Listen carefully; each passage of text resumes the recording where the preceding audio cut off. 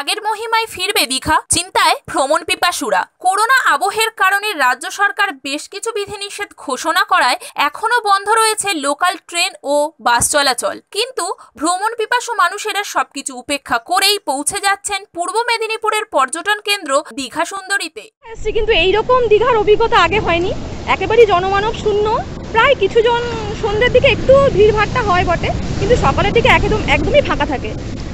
তো যশের জন্য আমরা তো জানি দীঘার যেভাবে ক্ষয়ক্ষতি হয়েছে, এটাকে পূরণ করতে আবার আমাদের সময় লাগবে। আশা করি এগুলো খুব তাড়াতাড়ি হবে এবং আমরা আগের, আবার আগের মতো দীঘাকে ঝলমলে রূপে দেখতে পাবো। পরের বারে যখন আসব, আশা করি নতুনভাবে আবার দীঘা জন মানে কি বলব, সমারোহ মানে জনসমারোহ থাকবে সব খোলা থাকবে এরকম ভাবে আমরা দেখতে চাই দীঘাকে। বিধিনিষেধ থাকার ফলে দীঘা সুন্দরীতে দেখা গেল হাতে গোনা মাত্র কয়েকজন পর্যটককে। সেই সমস্ত পর্যটকরাও দীঘা সুন্দরীর এই রূপ দেখে মনটা খুবই ভারাক্রান্ত, এমনটাই জানাচ্ছেন। করোনায় বিধিনিষেধ থাকার ফলে এমনিতে পর্যটন শূন্য অন্যদিকে দোকানপাট ভেঙে যাওয়ার ফলে দীঘা এখন প্রায় জনমানব শূন্য হয়ে পড়েছে। এই অবস্থায় দীঘাতে আসা হাতে গোনা যেসব পর্যটক এসেছেন তারা জানাচ্ছেন, দীঘাতে যাতে খুব তাড়াতাড়ি সবকিছু পুনর্নির্মাণ করে আবারও আগের অবস্থায় ফিরিয়ে আনা যায়। কেমন দেখছি বলতে জনশূন্য হয়ে গেছে।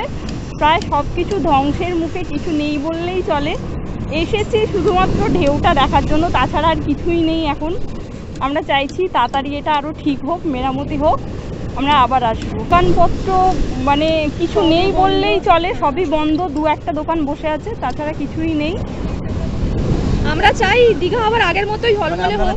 চাইছি খুব তাড়াতাড়ি এটা মেরামতির কাজ হোক দোকান সব কিছু যেগুলো ধ্বংস হয়ে গেছে খুব তাড়াতাড়ি হোক আমরা এটাই চাই। যদিও দীঘা পার্শ্ববর্তী সমুদ্র পাড়ে কিছু এলাকা ঘুরে দেখলে দেখা যায় সরকারি উদ্যোগে শুরু হয়েছে পুনর্নির্মাণের কাজকর্ম। ফলে আশা করা যায় পর্যটক সহ ভ্রমণ পিপাসুরা দ্রুত আগের মহিমায় ফিরে পাবে দীঘাকে। এখন তো এসে খুবই খারাপ লাগছে কারণ জনসংখ্যা নেই এখানে মানে খুবই কম। আর সবচেয়ে বড় কথা এই জজ তো পুরো আগ- এক মাস আগে হয়েছে। ঠিক ওই ছাব্বিশে মে তখন আমরা দেখেছিলাম যে প্রচণ্ড জলোচ্ছ্বাস হয়ে এটা পুরো এই দোকান টোকান দেখতে পাচ্ছেন, এখানে সব মেরামতি চলছে। কিন্তু এসে দেখছি পর্যটক শূন্য। আমরা এমনি এসেছিলাম এই লকডাউনে দেখেছি খুব একটা এনজয় করতে পারছি না। শুধু ঢেউটা আছে প্রচুর, আজকে, কালকে পূর্ণিমা ছিল। তাই আজকে একটু ঢেউ ভালোই আছে, তাই আমরা এনজয় করছি, কিন্তু জনসংখ্যা এখানে খুবই কম। আর আমি এটাও চাই যে এইগুলো যেন পুনর্মেরা মেরা- মেরামতি হয়। আর সবচেয়ে বড় কথা যেন পর্যটক এখানে আসে। আর সত্যি খারাপ লাগছে, এগুলো কয়েক কোটি টাকা ধ্বংস হয়ে গেছে এই জায়গায়। বিশেষ করে আমরা এই বিশ্ব বাংলা গেটের কাছে যখন গিয়েছিলাম, ওখানে টয়লেট টয়লেটগুলো সব ধ্বংস হয়ে গেছে পুরো। হ্যাঁ সেটা নেই, না, সেটা নেই সেটা নেই। হ্যাঁ অবশ্যই সবাই যেন আসে এবং আগের অবস্থায় যেন সবাই ফিরে আসে। এটুকুই বলা